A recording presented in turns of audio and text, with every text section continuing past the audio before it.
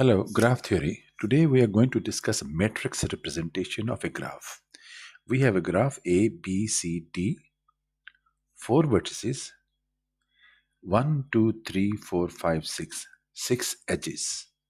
So this is a graph of four vertices or four nodes and six edges. And we want to have its representation as a matrix. So there are two kind of a, a matrix representations. One is called adjacency matrix. Another one is called incidence matrix. In adjacency matrix, we want to know the how the uh, one uh, vertex of the graph is joining the other vertices. So link or connection of one vertex with other vertices. vertices. So we'll write all the vertices as a column and all the vertices as a row. And then one by one we will see that how is the connection, how is a, a uh, one vertex is joining to other vertex. vertex. So A to A there is a no joining. A to B one joining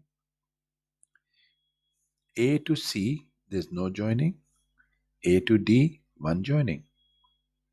B. B to A, B to A, one joining. B to B, there's no joining. There's no loop. B to C, one joining. B to D, two joining. Five and six, two routes. C. C to A, C to A, no joining. C to B, 1. C to D. C to C, none. C to D, 1. Now D. D to A, 1 joining. D to B, 2 joining. 2 routes, 2 connections. 2.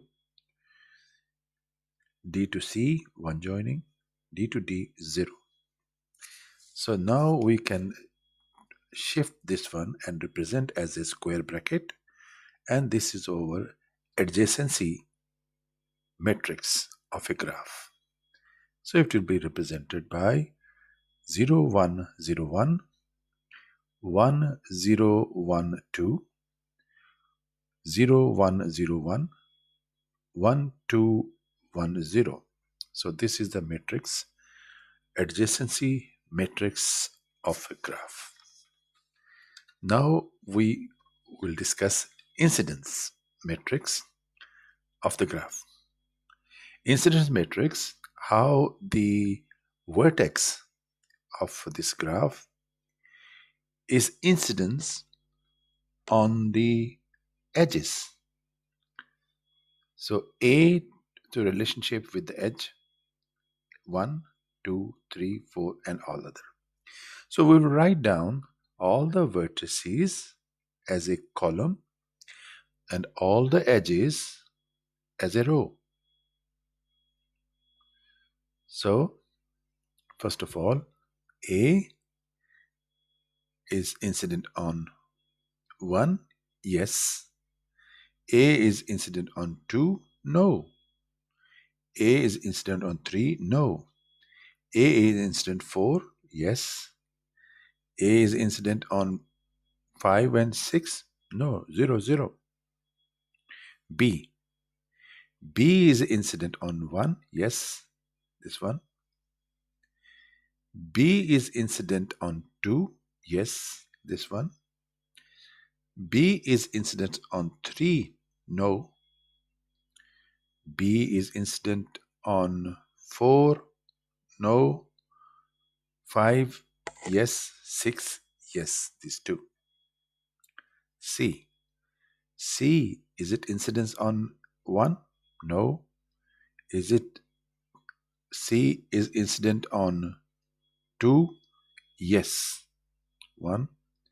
C is incident on 3? Yes. C is incident on 4? No neither 5, neither 6. D. D vertex, how is uh, is incidence uh, on other edges. So D to 1, 0, D to 2, 0, D to 3, yes, D to 4, yes, 5, yes, 6, yes, all this one, 1. Now we will shift this one and represent this as a M, M matrix of the graph representing the how the vertex of the graph is incident on the edges.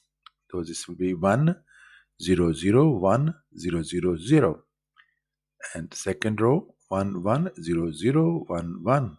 Third, 0, 1, 0, 0, 1, 1, 0, 0, 0. And the last row, 0, 0, 1, 1, 1, 1.